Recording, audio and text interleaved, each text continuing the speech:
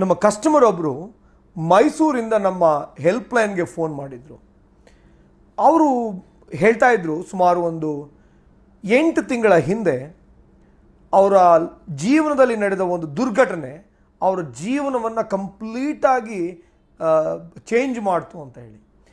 ಹಾಗೆ ನಾವು ಅವ್ರ ಬಗ್ಗೆ ತಿಳಿತಾ ಹೋದ್ವಿ. ನಾನು ಅವ್ರ ದುರ್ಘಟನೆ ಏನಾಯಿತು ಅವ್ರಿಗೆ ಏನಾಯಿತು ಪ್ರಾಬ್ಲಮ್ ಅನ್ನೋದನ್ನ ಹೇಳ್ತೀನಿ. ಅದಕ್ಕೂ ಮೊದಲು ಅವರ ಜೀವನ ಹೇಗಿತ್ತು ಅಂದರೆ ಗಂಡ, ಹೆಂಡತಿ, ಎರಡು ಹೆಣ್ಮಕ್ಳು. ಅವರ ಹೆಣ್ಮಕ್ಳಿಗೆ ಒಳ್ಳೆಯ ವಿದ್ಯಾಭ್ಯಾಸ ಕೊಡಿಸಿ, ಅವ್ರನ್ನ ಒಬ್ಬನ ಡಾಕ್ಟ್ರು ಮಾಡಬೇಕು ಇನ್ನೊಬ್ಬರನ್ನ ಇಂಜಿನಿಯರ್ ಮಾಡಬೇಕು ಅಂತ ಭಾಳ ಕನಸು ಕಟ್ಕೊಂಡು ದುಡ್ಡು ಉಳಿತಾಯ ಮಾಡ್ತಾಯಿದ್ರು ಬರೋ ಸಂಬಳ ಬರೀ ಅರುವತ್ತೈದು ಸಾವಿರ ರೂಪಾಯಿ.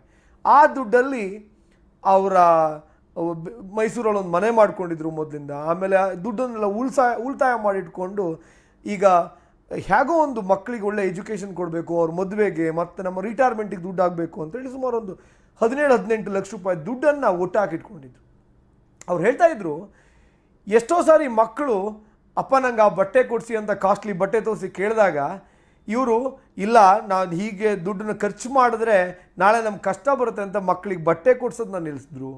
ಆಮೇಲೆ ಎಷ್ಟೋ ಸಾರಿ ಅವರು ಹೋ, ಒಳ್ಳೆ ಕಡೆ ಹೋಗಿ ಮನೆಯಲ್ಲಿ ಸಂಸಾರನೆಲ್ಲ ಫ್ಯಾಮಿಲಿ ಕರ್ಕೊಂಡು ಹೊರಗಡೆ ಟ್ರಿಪ್ಪಿಗೆ ಹೋದಾಗ, ಹೋಟೆಲಲ್ಲಿ ಊಟ ಮಾಡ್ಕೊಂಡು ಬರೋಣ ಅಂತೇಳಿ ಪ್ಲ್ಯಾನ್ ಮಾಡಿ ಹೋಟೆಲಿಗೆ ಹೋಗಬೇಕು ಅಂದ್ಕೊಂಡವರು ಬೇಡ, ಹೋಟೆಲಿಗೆ ಹೋದರೆ ಒಂದು ಸಾವಿರ ರೂಪಾಯಿ ಖರ್ಚಾಗುತ್ತೆ, ಒಂದೂವರೆ ಸಾವಿರ ರೂಪಾಯಿ ಖರ್ಚಾಗುತ್ತೆ, ಅದ್ರ ಬದಲು ಮನೆಗೆ ಹೋಗಿ ಊಟ ಮಾಡೋಣ, ಆ ದುಡ್ಡನ್ನು ಉಳಿಸೋಣ, ನಮ್ಮ ಭವಿಷ್ಯಕ್ಕೆ ಬೇಕಾಗುತ್ತೆ ಅಂತೇಳಿ ಹೀಗೆ ಬೆ, ಎಲ್ಲೆಲ್ಲಿ ಸೇವ್ ಮಾಡೋಕ್ಕೆ ಸಾಧ್ಯ, ಅಲ್ಲೆಲ್ಲ ಸೇವ್ ಮಾಡಿ ಸುಮಾರು ಒಂದು ಹದಿನೇಳು, ಹದಿನೆಂಟು ಲಕ್ಷ ರೂಪಾಯಿ ದುಡ್ಡು ಮಾಡಿ ಇಟ್ಕೊಂಡಿದ್ರು. ಅವರು ಲಾಸ್ಟ್ ಎಂಟು ತಿಂಗಳ ಹಿಂದೆ ಮೈಸೂರು ಔಟರ್ ರಿಂಗ್ ರೋಡಲ್ಲಿ ರಿಂಗ್ ರೋಡಲ್ಲಿ ಅವರು ಆಫೀಸಿಗೆ ಹೋಗುವಾಗ ಟೂ ವೀಲರ್ಲಿ ಒಂದು ಟ್ರಕ್ ಬಂದು ಅವ್ರನ್ನ ಹಿಟ್ ಮಾಡುತ್ತೆ. ಹಿಂದ್ಗಡೆಯಿಂದ ಆಕ್ಸಿಡೆಂಟ್ ಹೊಡೆಯುತ್ತೆ, ಆಕ್ಸಿಡೆಂಟ್ ಆಗುತ್ತೆ. ಒಂದು ಕಾಲ್ ಕಂಪ್ಲೀಟ್ಲಿ ಹೋಗ್ಬಿಡುತ್ತೆ. ಕೈಯಲ್ಲಿ ಒಂದೆರಡು ಬೆರಳು ಹೋಗುತ್ತೆ, ಕಟ್ಟಾಗುತ್ತೆ. ಕೈ ಫ್ರ್ಯಾಕ್ಚರ್ ಆಗುತ್ತೆ. ಇಷ್ಟೆಲ್ಲ ಆದಮೇಲೆ ಸುಮಾರು ಆರೇಳು ತಿಂಗಳು ಬೆಡ್ ರೆಸ್ಟ್ ಆಗುತ್ತೆ. ಆಮೇಲೆ ಅಷ್ಟೊತ್ತಿಗಾಗಲೇ ಅವರ ಕಂಪ್ನಿಯಲ್ಲಿ ಇವರು ಕೆಲಸ ಮಾಡೋಕ್ಕೆ ಫಿಟ್ ಆಗಿಲ್ಲ ಅಂತೇಳಿ, ಫಿಟ್ನೆಸ್ ಸರ್ಟಿಫಿಕೇಟ್ ಪ್ರಕಾರ, ಫಿಟ್ನೆಸ್ ಟೆಸ್ಟ್ ಪ್ರಕಾರ ಅವ್ರು ಫಿಟ್ ಆಗಿಲ್ಲ ಅಂತೇಳಿ ಕೆಲಸದಿಂದ ಕೂಡ ತೆಗೀತಾರೆ. ಆಮೇಲೆ ಒಂದು ಎರಡು ಮೂರು ಲಕ್ಷ ರೂಪಾಯಿ ಕಾಂಪನ್ಸೇಷನ್ ಅಂತ ಕೊಡ್ತಾರೆ. ಈಗ ಅವ್ರ ಜೀವನ ಹೇಗಿದೆ ಅಂದರೆ ಬರ್ತಾ ಇದ್ದ ಅರುವತ್ತೈದು ಸಂಬಳ ಸಂಬಳ ಬರ್ತಿಲ್ಲ.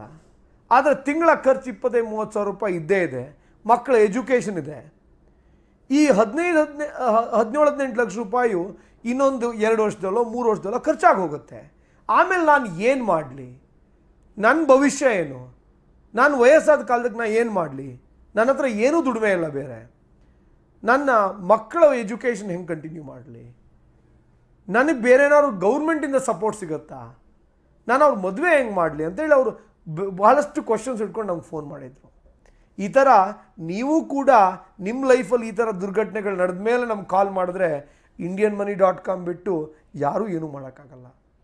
ಎಷ್ಟೋ ಜನ ಈ ಥರ ತಪ್ಪು ಮಾಡ್ತಾರೆ. ಏನೋ ಒಂದು ದೊಡ್ಡ ಅವಘಡ ಆಗ ತನಕ ಅವ್ರಿಗೆ ಎಚ್ಚೆತ್ಕೊಳ್ಳಲ್ಲ ಆಮೇಲೆ ಎಚ್ಚೆತ್ಕೊಳ್ತಾರೆ ಭಾಳ ಲೇಟ್ ಆಗಿರುತ್ತೆ. ಏನೂ ಮಾಡೋಕ್ಕಾಗಲ್ಲ. ಈಗ ಇವರು ಈಗೇನು ಮಾಡೋಕ್ಕೆ ಸಾಧ್ಯ ಹೇಳಿ? ಹದಿನೇಳು, ಹದಿನೆಂಟು ಲಕ್ಷ ರೂಪಾಯಿ ದುಡ್ಡಿದೆ, ಅದು ಖಾಲಿಯಾಗಿ ಹೋಗುತ್ತೆ. ಇವ್ರಿನ ಕೆಲಸ ಮಾಡಬೇಕು ಅಂದರೆ ಏನೋ ಆರ್ಟ್ ಜಾಬ್ ಮಾಡ್ಬೋದು ಹತ್ತು ಹದಿನೈದು ಸಾವಿರ ರೂಪಾಯಿ ಸಂಬಳ ಬರ್ಬೋದು, ಅರವತ್ತೈದು ಸಾವಿರ ರೂಪಾಯಿ ಸಂಬಳ ಯಾರೂ ಕೊಡಲ್ಲ. ಅವ್ರ ವೈಫ್ ಹೌಸ್ ವೈಫ್ ಇಷ್ಟು ದಿನ ಎಲ್ಲೂ ಕೆಲಸ ಮಾಡಿಲ್ಲ, ಏನು ಪಾಪ ಕೆಲಸ ಮಾಡ್ತಾರೆ ಅವರು? ಹೆಣ್ಮಕ್ಳು ಇನ್ನೂ S L C, P U C ಓದ್ತಿದ್ದಾರೆ, ಅವರಿನ್ನೂ ಕೆಲಸ ತಗೊಂಡು ಅವ್ರ ದುಡಿಮೆ ಮಾಡೋಕ್ಕಿನ್ನೂ ಭಾಳಷ್ಟು ಟೈಮ್ ಬೇಕು. ಏನು ಮಾಡಬೇಕು? ಇವ್ರ ಜೀವನದ ಕಥೆ ಏನು ಮುಂದೆ?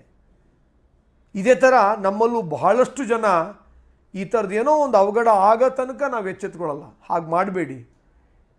ನಮಗೆ ಈಗ ನಾನೇನಾದರೂ ಅವ್ರು ನನಗೆ ಒಂದು ಹತ್ತು ತಿಂಗಳು ಮೊದಲೇ ಫೋನ್ ಮಾಡಿದರೆ ಫಿನಾನ್ಷಿಯಲ್ ಪ್ಲಾನಿಂಗ್ ಮಾಡಿಬಿಟ್ಟು ಅನಲೈಸ್ ಮಾಡಿ ಹೇಳ್ತಿದ್ದೆ, ಸರ್ ನೋಡಿ ನೀವು ಬೈಕ್ ಓಡಿಸ್ತೀರಿ, ಆಫೀಸಿಗೆ ಹೋಗ್ತೀರಿ, ಮನೆಯಲ್ಲಿ ಒಬ್ಬರೇ ನೀವು ಬ್ರೆಡ್ ವಿನ್ನರು, ನಾಳೆ ನೀವು ಇಲ್ಲ ಅಂದರೆ ನಿಮ್ಮ ಮಕ್ಕಳ ಗತಿ ಏನು? ಅಂತ ಹೇಳಿ ಅವ್ರಿಗೆ ಒಂದು ಕೋಟಿ ರೂಪಾಯಿದೋ, ಒಂದೂವರೆ ಕೋಟಿ ರೂಪಾಯಿದು ಒಂದು ಟರ್ಮ್ ಇನ್ಶೂರೆನ್ಸ್ ಮಾಡ್ಸೋಕೆ ಹೇಳ್ತಿದ್ವಿ. ಅವ್ರು ಅದನ್ನು ಮಾಡಿಕೊಂಡಿದ್ರೆ ಇವತ್ತು ಅಟ್ಲೀಸ್ಟ್ ಅದು accidental death and disability benefit rider ಅಂತ ಬರುತ್ತೆ ಟರ್ಮ್ ಇನ್ಶೂರೆನ್ಸ್ ಜೊತೆಗೆ. ಅದರ ಜೊತೆಗೆ ಅವ್ರಿಗೆ ಒಂದು ಲೆಗ್ ಹೋಗಿರೋದು ಅದು ಪರ್ಮನೆಂಟ್ ಡಿಸಬಿಲಿಟಿ ಇಪ್ಪತ್ತು ಲಕ್ಷನೋ, ಮೂವತ್ತು ಲಕ್ಷನೋ ಕಾಂಪನ್ಸೇಷನ್ ಬರ್ತಿತ್ತು. ಅದಲ್ಲದೆ ರೆಗ್ಯುಲರ್ ಇನ್ಕಮ್ ಬರ್ತಿತ್ತು. ಆಮೇಲೆ ಅವ್ರು ಹಾಸ್ಪಿಟ್ಲಿಗೆ ಎಂಟು ಲಕ್ಷ ರೂಪಾಯಿ ಖರ್ಚು ಮಾಡಿದ್ವಿ ಅಂದರು. ಆ ಏಳೆಂಟು ತಿಂಗಳು ರೆಸ್ಟು ಅದು ಇದು ಅಂತೇಳಿ ಅವ್ರ ಟ್ರೀಟ್ಮೆಂಟಿಗೆ ಏಳೆಂಟು ಲಕ್ಷ ರೂಪಾಯಿ ಖರ್ಚಾಯ್ತಂತೆ.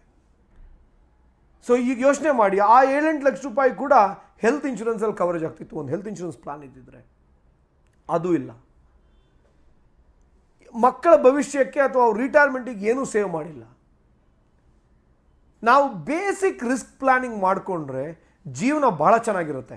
ಅಂದರೆ ಯಾರೂ ಕೂಡ ಈ ಥರದ ಅವಘಡಗಳನ್ನ ತಲುಪ್ಸೋಕ್ಕಾಗಲ್ಲ. ವಿಧಿಯಾಟ ಏನಾಗಬೇಕು ಅದಾಗೇ ಆಗುತ್ತೆ. ಆದರೆ ಅದಾದಾಗ ಫಿನಾನ್ಷಿಯಲಿ ನಾವು ಸಫರ್ ಆಗದೇ ಇರೋಗೆ ನಾವು ಪ್ಲ್ಯಾನ್ ಮಾಡ್ಬೋದು. ಸೊ ಹೀಗೆ ನಿಮ್ಗೆ ಈ ಥರ ತೊಂದರೆ ಬರೋಕ್ಕೂ ಮೊದಲು Indian money dot com financial education helpline number zero double two six one eight one six triple ಒನ್ಗೆ ಒಂದು ಕಾಲ್ ಮಾಡಿ ನಿಮ್ಮ ಭವಿಷ್ಯವನ್ನು ಸುಭದ್ರ ಮಾಡ್ಕೊಳ್ಳಿ. ಈ ಥರದ ಅವಘಡಗಳಿಂದ, ದುರ್ಘಟನೆಗಳಿಂದ ನಿಮ್ಮ ಜೀವನ ಹಾಳಾಗಬಾರ್ದು. ಹಾಗೆಯೇ ನೀವು ನಮ್ಮ Indian money dot com YouTube ಚಾನಲ್ನ ಸಬ್ಸ್ಕ್ರೈಬ್ ಮಾಡದೇ ಇದ್ದರೆ ದಯವಿಟ್ಟು ಮಾಡಿ. ಈ ಥರದ ವಿಡಿಯೋಗಳು ನಿಮಗೆ ಪ್ರತಿದಿನ ನಾವು ಕೊಡ್ತೀವಿ.